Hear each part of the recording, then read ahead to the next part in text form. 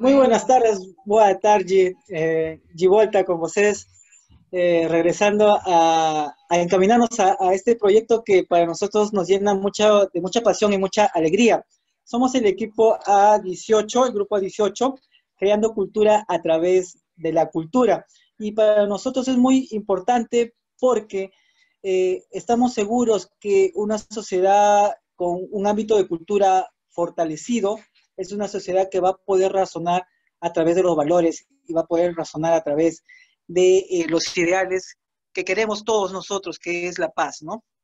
Entonces, eh, este proyecto básicamente, como ustedes pueden observar, eh, se concentra en afianzar la problemática que hay en el Perú. En el Perú, según las estadísticas, el país en completo como, como conjunto no lee un libro al año no, llegamos a leer un libro al año. Eso básicamente si nosotros lo traducimos a zonas urbanas. Si nos vamos a zonas más alejadas o comúnmente llamadas pobres, o en el caso de Brasil, favelas, eh, no leen ni siquiera medio libro por año. Entonces, eso complica mucho tanto a la comprensión de lectura, a la cultura, a fortalecernos como sociedad.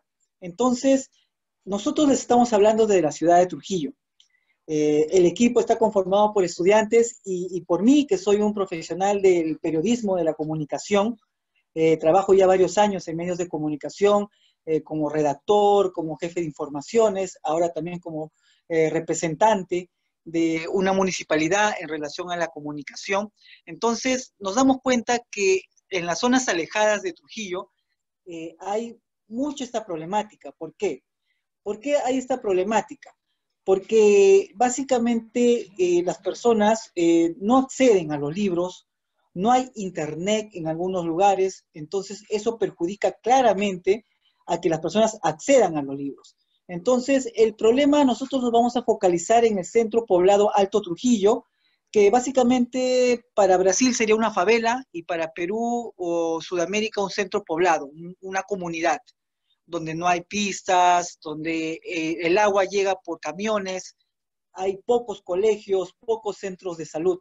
Entonces, hemos escogido esta zona básicamente para poder atender, porque es la zona urbana, eh, la, perdón, la zona eh, comunal más cercana a Trujillo, que es la zona urbana, ¿no?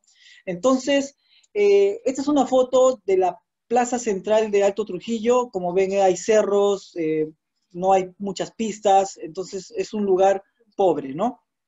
Eh, las causas básicamente hemos detectado en cuestión a la lectura es por la distracción por los vicios eh, y la influencia de los grupos, ¿no? O sea, no hay grupos culturales fortalecidos que permitan que las personas puedan eh, acceder a los libros, ¿no?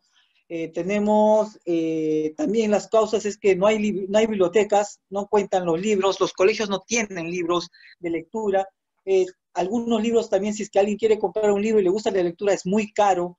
Entonces, acceder a los libros básicamente no se puede, es muy difícil en esta zona. Eh, las soluciones que nosotros estamos planteando, obviamente, como el proyecto dice, es creando cultura a través de la lectura, que es primero fomentar el hábito de la lectura. Que empecemos como yo empecé a leer un libro, con lo que me gusta. Si me gustan los cuentos, llevemos cuentos. Si me gustan las novelas, llevemos novelas si me gusta tal vez la realidad o todo lo que son análisis, llevemos esos libros. Entonces, bajo un estudio de poder direccionar bien los enfoques de los géneros literarios. Promover libros virtuales, para eso vamos a explicar cómo vamos a hacer eso, incentivar y luego de tener un nicho ya de gente que quiere realmente fortalecerse su cultura, la cultura, vamos a incentivar eh, concursos para poder eh, mover más gente, ¿no? Entonces, eh, si hablamos acerca de eh, el presupuesto, o básicamente cómo vamos a lograr hacer esto, es eh, como todos, muchos de nosotros nos hemos fortalecido en nuestra vida, que es tocando puertas, haciendo alianzas y garantizando que las personas puedan, de alguna u otra manera, nosotros como puentes, poder llevarle los libros. Primero, el equipo es un equipo joven, tenemos varios amigos, eh, en mi caso, como profesional, tengo varios contactos, entonces hemos pensado en lo que es recaudación de libros. Todas las familias, todas las casas en su mayoría siempre tienen un libro que ya está viejito, ya no lo usa. Estoy hablando de las zonas urbanas. Entonces vamos a tocar puerta por puerta y recaudar libros. Esa es una buena manera de poder eh, fortalecer las bibliotecas estacionarias, ¿no? Una biblioteca con infraestructura. Las alianzas estratégicas, eh, conversar dirigido de manera general, niños, jóvenes, adultos, adultos mayores, o sea, personas ancianas, porque básicamente eh, está dirigido la lectura para todos. Todos tenemos que movernos a poder eh, contar y leer, ¿no?